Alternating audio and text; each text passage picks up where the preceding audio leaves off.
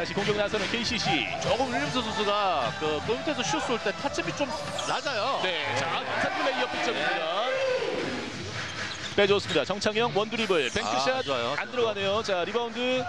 자 김상규가 잡고 올려놓습니다. 아, 김지완 침착하게 던집니다.